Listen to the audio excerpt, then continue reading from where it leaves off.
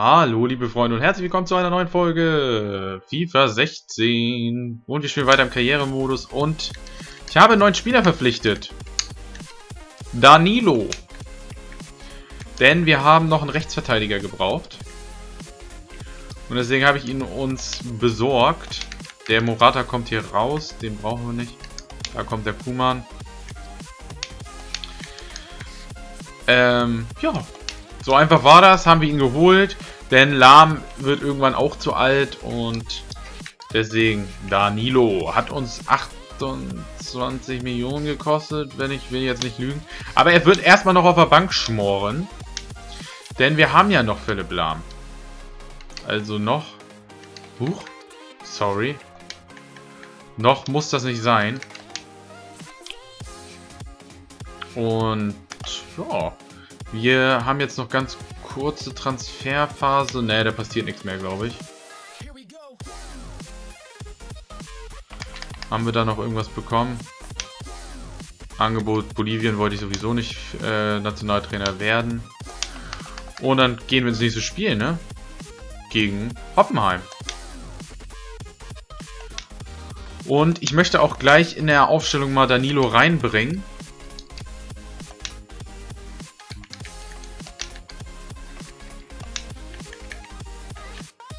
Boateng ist dadurch automatisch jetzt der Captain. Und dann spielen wir. Lasst uns spielen.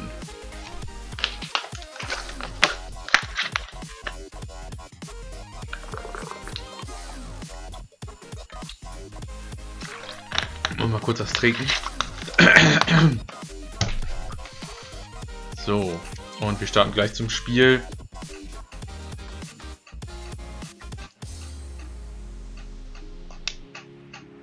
Glaube, ich nehme heute schon irgendwie die achte Folge FIFA auf oder so. Ich bin jetzt schon warm gespielt. Ich habe jetzt auch kein Problem mehr, den, die Profis zu schlagen. Also Schwierigkeitsgrad Profi. Das letzte Spiel ging 3-0 aus. Na, komm.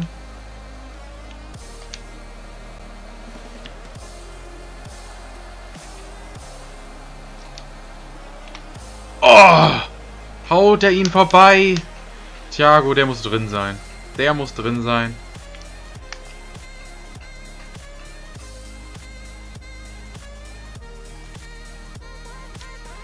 Aber hier, der Lewandowski holt ihn sich.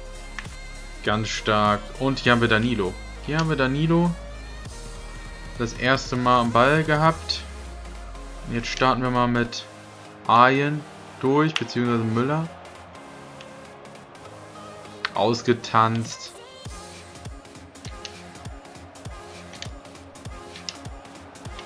Und drin ist das Ding. Drin ist das Ding. 1-0. Und zieht euch mal rein, wie der Ball ins Tor fliegt. Der ist da irgendwie dem Tor wieder durch die Finger geflutscht. Starker Ball von... Ja, aus der Perspektive sieht man das nicht so gut, aber... Ich hatte das Gefühl, der ist schneller geworden durch das Halten des Torhüters. Aber gut. Wie ich schon gesagt habe, gegen Profi kriegen wir es jetzt auch schon ganz gut hin mit den Toren und alles.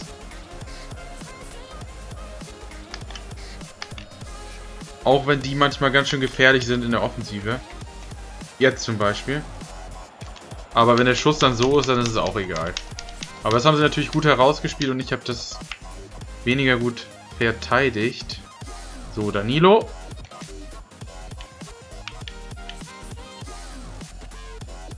Ja, komm, schubst ihn einfach weg.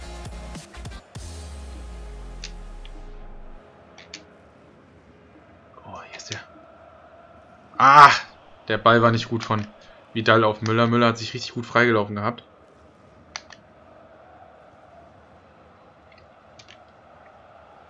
Na, der Ball war ja richtig Sahne. Wie Danone. Frische Sahne. Und da haben wir ihn wieder stark gemacht von Thiago. Oh! Puh! Pfosten. Pfosten und dann gegen den Rücken, aber nicht rein. Oder gegen die gegen die Rückhand.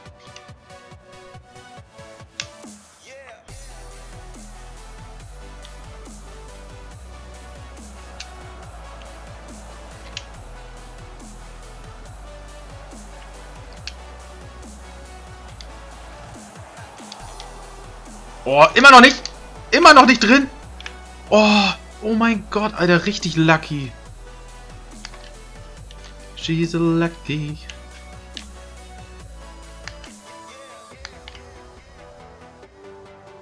Und da hatte Müller sich ihn wieder zurückerkämpft.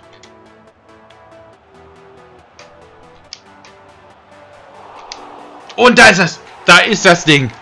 Da ist das Ding. Da haben wir das 2-0. Pogba gegen den Pfosten und Thiago kommt von hinten angelaufen. Da habe ich ihn, die Weiterleitung war ja sehr grübbelig und da ist Thiago einfach schneller. Thiago habe ich auch ähm, so eingestellt, dass er mit nach vorne läuft. Also offensiv ausgerichtet ist. Und Vidal ist defensiv ausgerichtet. Also der soll eigentlich hinten bleiben. Kommt aber trotzdem manchmal nach vorne, komischerweise. Vielleicht weil meine Einstellung allgemein hoher Druck ist. Und hier holt ihn A in sich.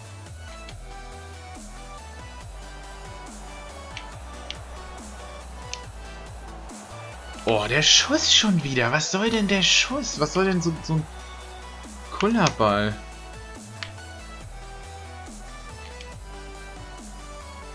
Und dann nimmt ihn Lewandowski richtig gut mit. Ah, der Torhüter hat aufgepasst. Der Torhüter hat aufgepasst. Der Baumann, ne? Baumann ist doch bei Hannover, äh, bei Hoffenheim.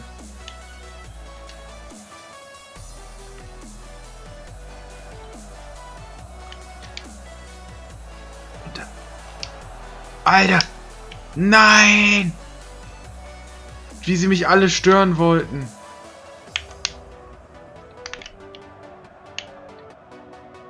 Danilo.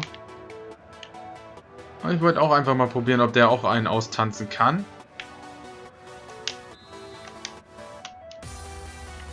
Aber wir bauen mal schön von hinten auf.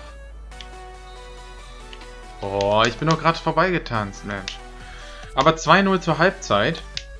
Und ja, wir machen so weiter. Versuchen mal so weiter zu machen.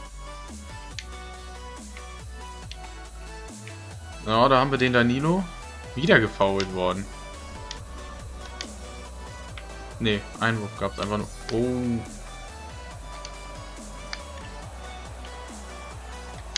Ja, so einfach ist es dann nun auch wieder nicht. Kurani. Kevin Kurani. Oh, ist der, war er noch Abseits? War Abseits jetzt? Ach, schade. Ich dachte, er war schon wieder rausgelaufen. Ne? Weil ich habe schon gesehen, dass er im Abseits war, aber ich dachte, er wäre wieder raus.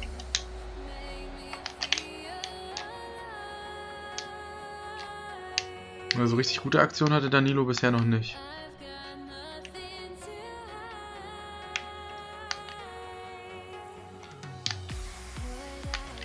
Los Danilo, lauf. Alter, was machen die denn da? Den hätte Boateng schon haben müssen.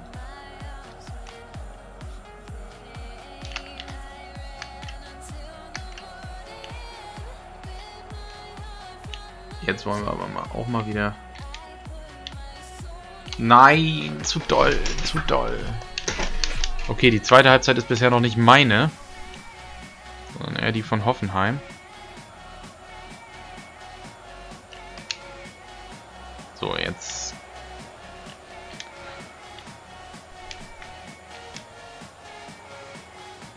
War ein guter Ball, aber die Annahme hat dann doch nicht so gut geklappt.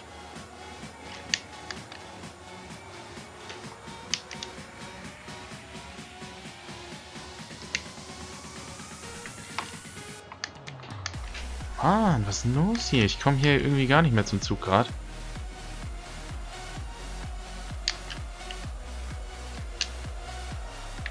Was hat denn Danilo da gerade in der Endverteidigung gemacht? Ah, was? Das war doch eine perfekte Grätsche. Warum gibt er dafür einen Foul? Ich finde, das hat äh, Boateng richtig gut gemacht. Also richtig gut reingegrätscht, sich den Ball geholt.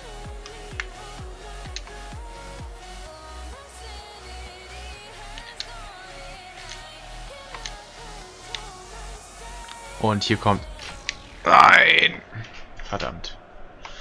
Thiago.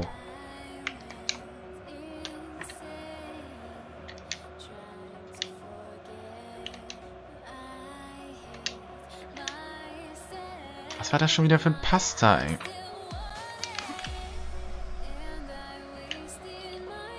Thiago holt ihn sich direkt wieder. Und der Schuss war lächerlich. Lächerlich.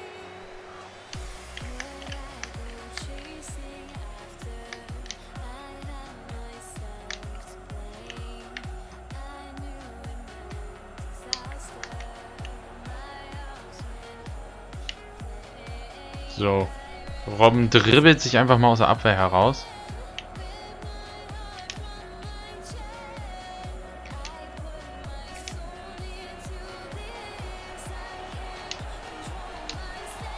Elf Meter, elf Meter. Yo. Rot auch noch. Ah, perfekt. Jo, er hat den Mann echt nicht... Er hat echt den Ball überhaupt nicht bekommen. Sehr schön.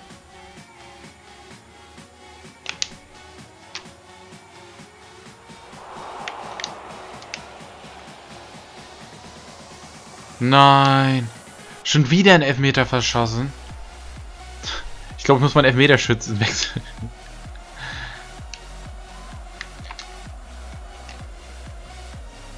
Oh, jetzt aber nochmal. Nochmal ein Angriff. Und da haben wir doch noch das 3-0. Da haben wir doch noch das 3-0. Pogba mit der Vorlage, Lewandowski mit dem Tor. Wieder 3-0. Sehr schön. Ist echt langsam raus, gegen die Profi zu gewinnen.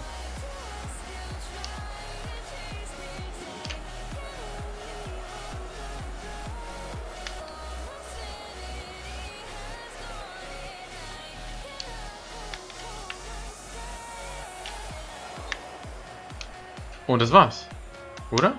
Ne, abseits war das. Jetzt war es das aber.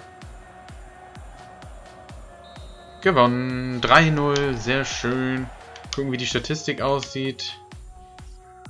Ja, ein Ballbesitz wieder 49 zu 51. Genau so hatte ich es auch im letzten Spiel, aber trotzdem deutlich gewonnen. Das freut mich.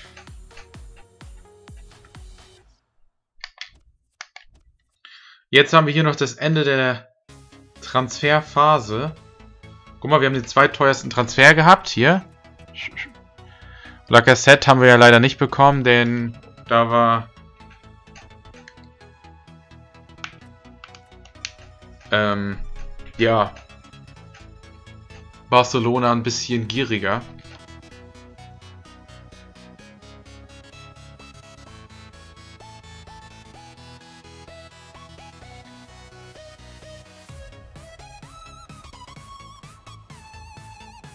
Oh, verdammt. Wir haben es uns mit, mit äh, Manuel Neuer verscherzt.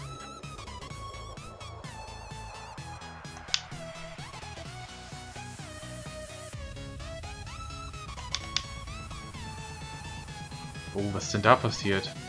Da, oh. Äh, wie heißt der denn nochmal? Cavani wechselt. Für 48 Millionen nochmal.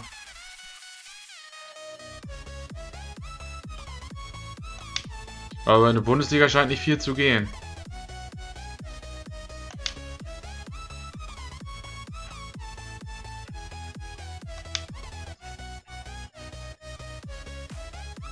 Bundesliga-Club hat, glaube ich, irgendwas gemacht.